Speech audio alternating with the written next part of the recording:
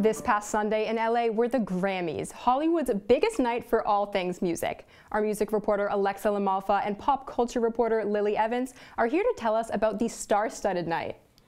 Hi Thanks guys. for having us. Thank you so much for being here. so, starting off with you, Alexa, two of the biggest Grammy Awards were Song of the Year and Album of the Year, obviously. So, who won, and do you think that they were deserving of those awards? Absolutely. So Bonnie Raitt won with just like that, one Song of the Year, beating artists like Lizzo, Taylor Swift, Adele, and Beyonce. Now, everyone was stunned, even Raitt herself, when she accepted the award. Fans weren't the happiest online, but we got to remember the Grammys are determined by the Recording Academy, not by fans.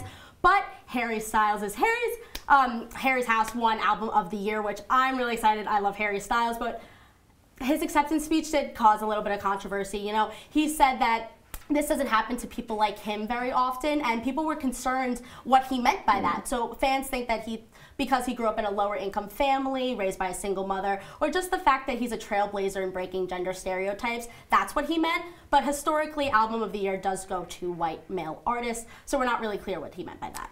Yeah, I can definitely understand that confusion. And now, Lilly, over to you. What red carpet look really stood out to you? You know, any cool new trends we need to be aware of? Absolutely, Mia. So 2023 is the year of cool dresses and boys in sparkles. and I just have to say, I'm so here for it. So many stunning dresses on the red carpet on Sunday. We had Adele, Cardi B, Ava Kolker, whose dress I loved. It is that nude and white polka dot dress there. So flattering, so pretty on the carpet. Of course, we had Olivia Rodrigo. She had a black, sheer, more simple, understated dress, but it was very much her vibe and it looked beautiful on stage And then, of course, I had to put in an honorable mention for Alexa, Harry Styles in that low cut, sparkly jumpsuit thing. So cool, so Harry Styles. I was totally here for it. And then MGK, and following a similar path there, he had a little disco ball slash Tin Man inspired outfit going on, but all I have to say is if it's good enough for Megan Fox, it's good enough for me.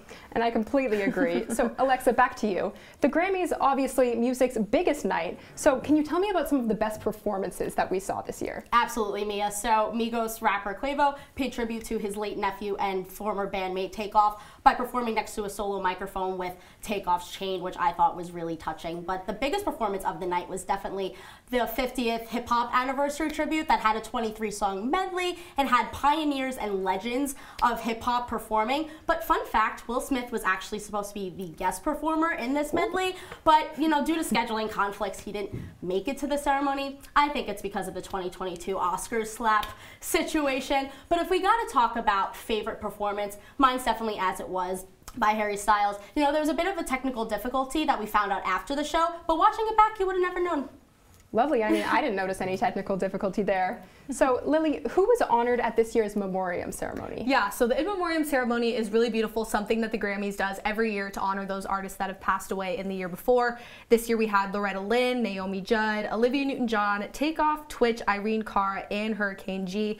Some standout performances for me would have to be Kacey Musgraves for Loretta Lynn. I love Kacey. I think she's one of the best female country artists in the industry. So to see her honor someone who really paved the path for people like her was really, really beautiful. And then we had Bonnie Raitt and Sheryl Crow joined Fleetwood Mac's Christine McVie with a performance of Songbird, which McVie wrote in for their 1977 album Rumours.